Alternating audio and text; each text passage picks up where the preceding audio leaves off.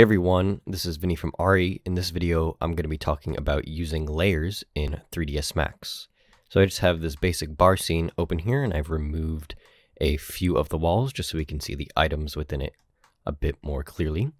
Now we can activate layers in 3ds Max by pressing on our toggle layer explorer button, which is going to be located in the toolbar at the top of our Max window. So we'll just press that and it should open up on the left side of your screen. Now, if you're looking at a blank max file, you'll probably only see this zero default layer. That's the layer created by default in 3ds Max. I kind of use that as a working layer, so I'll throw anything that I'm working on in there, and I'll just usually keep that visibility turned off. And you turn off the visibility of layers in 3ds Max just by pressing this little eye icon right next to the layer name. So layers in 3ds Max work similar to layers in Photoshop or even could be compared to folders within your file explorer. They're basically containers that you can place objects within your scene in to organize them, as well as place other layers within other layers to create more levels of organization.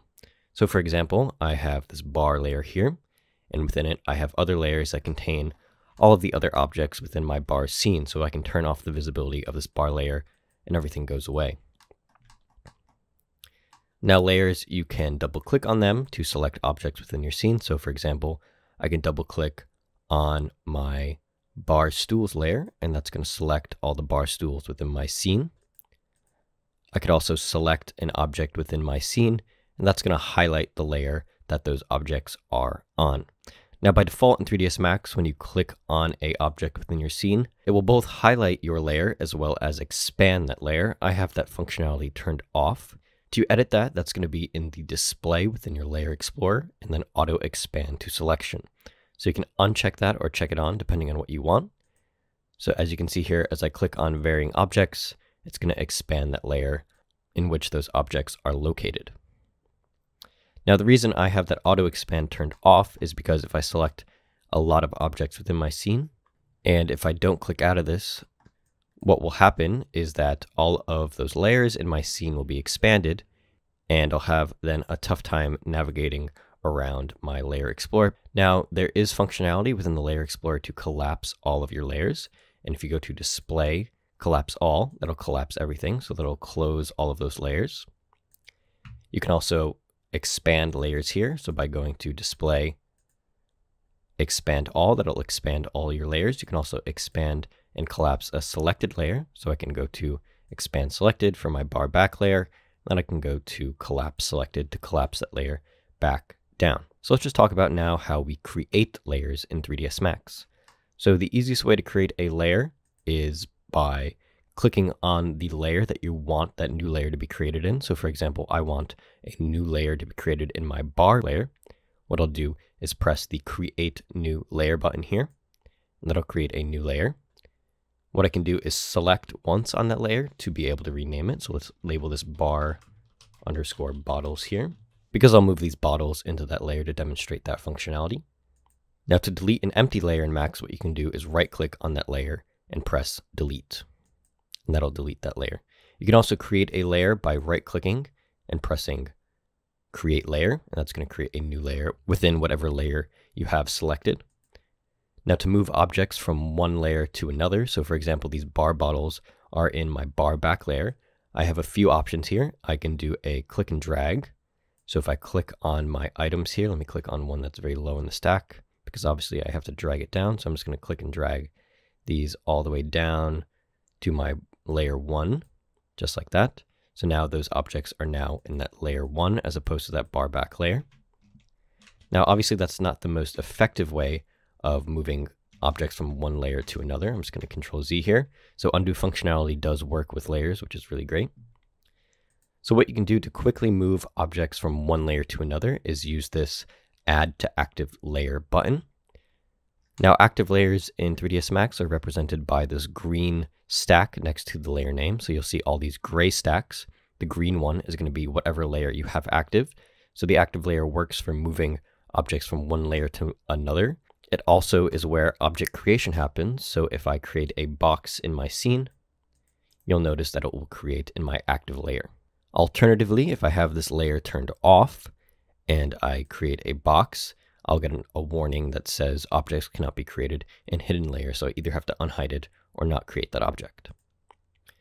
So to move an object from one layer to another using that active layer button, I'll just click on the object that I want. I'm just going to duplicate it in place because I'm going to demonstrate how to delete layers as well. So I'll press Control V here. And that's going to create a new object. And then what I can do is press this Add to Active Layer button. Okay, great, just like that. Now to rename a layer when you've already created it, you just have to slow double click on it and I'll just rename this bar bottles. Okay, so before I move on to deleting layers, let's just talk about how we can create a new layer with objects already in it. So if you select objects within your scene and just click on the layer that you want your objects to be created. So why don't we turn off this bar back layer here and I'm going to select these objects. What I can do is control click on this bar bottles layer. So my new layer will be created there. And if I press my create new layer button, what's going to happen is that a new layer is going to be created within that layer I had selected, so the bar bottles layer, and all of those objects are going to move from that one layer to another. So you'll see here I have all those bar bottles within this new layer 001. So if you click on an object in your scene and then press create layer, all of those objects will be moved to that newly created layer. So let me just label this bar bottles 2. Okay, and we can move layers up in the hierarchy simply by clicking on them and dragging them to the part of the hierarchy that we want. So if I click and drag this to the bar layer here, you're going to see it moves out of that bar bottles layer and moves into the bar layer. I can also drag this all the way out just by dragging it to this open space down here. And that's going to be on the same level with my default layer there. I can also, let me just drag this back. If I right click on this bar bottles layer, the second one, and I go to unnest, that's going to unnest that all the way to the top of the hierarchy with the default layer there. Okay, let me just drag this back. So now you see here I have the bar bottles 2 and the bar bottles on separate layers. So if I right click on the bar bottles layer, I'll be able to delete that because it is an empty layer. However, if I right click and click delete on this bar bottle 2, which, which contains all my items here, you'll see I won't be able to delete that layer. That's because to delete a layer with items within it, you have to go to your delete layer and all children's button here. So it's going to delete the layer and all the objects within it. So let me just turn back on our bar back layer there. Okay, so just some last things. You can freeze your layer and the objects within it by pressing on the snowflake. You can also edit the properties of a layer all at once by clicking on that layer and right clicking and going to properties. And now we can edit the properties similar to our object properties if we were to click on an object within our viewport. Layers also work with renderers such as V-Ray.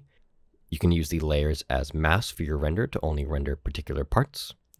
So that covers the basic functionality of layers in 3ds Max. In future videos, we'll go into more advanced topics of how we can use layers in particular situations. If you enjoyed this video, you can check out our YouTube channel where we have tips, tricks, and tutorials on CG visualization software such as V-Ray, 3ds Max, and Rhino. You can also check out our school and website at ari.school, where we teach in person and online courses on CG visualization topics such as architectural rendering, product rendering, and much more. Again, this has been Vinny from Ari, and I hope to see you in another video.